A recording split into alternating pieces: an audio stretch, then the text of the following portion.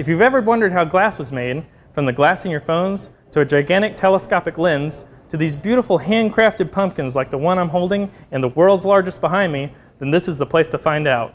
We're in Corning, New York at the Corning Museum of Glass, and we're here to talk with two Eagle Scouts, Eric Meek and G. Brian Juk, who share with almost half a million people every year just how amazing glass is. Let's go talk with them.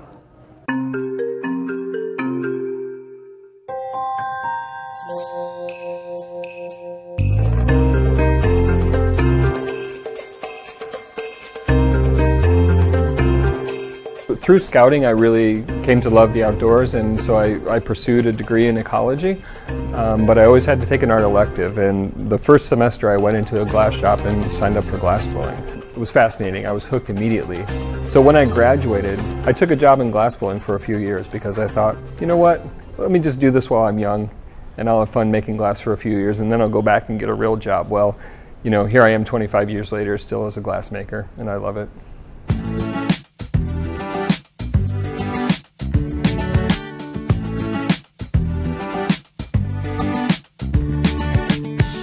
Corning Museum of Glass has thousands of objects that date back 35 centuries. So we have some of the very, very oldest pieces of glass uh, and some completely contemporary and modern pieces of glass. Glass is it's an amazing material to work with and it's a, it's a really, really difficult material to master. When you're shaping molten glass, every moment you're shaping it, it changes. It changes from something that's soft and drippy like honey to something that's solid and brittle like we know glass to be. So it's, it's a challenging material to use and it's a challenging material to make new things out of. The, the great thing about this is that you can imagine so many things in glass and so many things can be realized. It's, the only limit is your imagination. So that's the thing that keeps you going is that you can always have a new idea and you can always make it. Eagle Scout G. Brian Juk says people come from all over the world to make glass and see glass being made. The museum has all the right tools for glassblowers like himself. Yeah, the Corning Museum of Glass has uh, the cream of the crop equipment. You won't go to a studio that has better equipment, a better setup, or a better team to help you. The museum sees over 400,000 visitors a year. It's been a real honor to present to probably millions of people over my career here at the Corning Museum of Glass. We're really excited about tonight's event. Scouts from all over the council are coming, and scouts have uh, drawn pictures. We've picked them out, and we're going to make them with their help.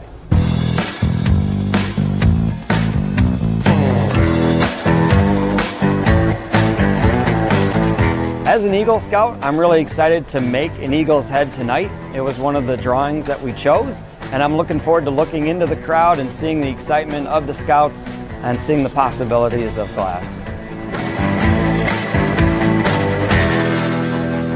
Scouting was really about, um, for me, I really enjoyed the camaraderie and uh, the teamwork and just being part of something bigger than just who you are. You know, it was all about the team.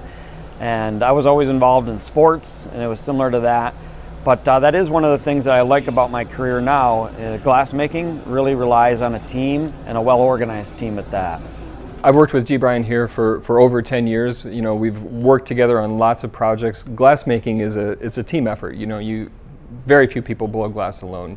And you need somebody that you can depend on. And G. Brian is, is the best guy to have on your team when you're making something that's technical and difficult and heavy.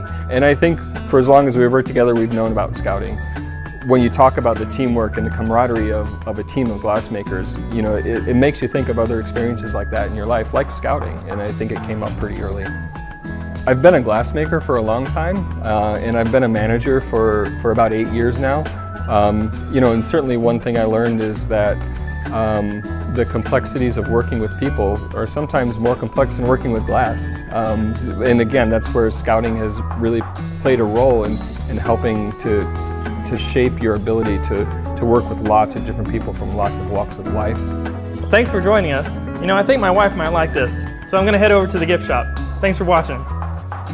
To learn more about our Eagle Scouts and how scouting has influenced their glassblowing careers, check out the spring 2019 issue of Eagles Call magazine.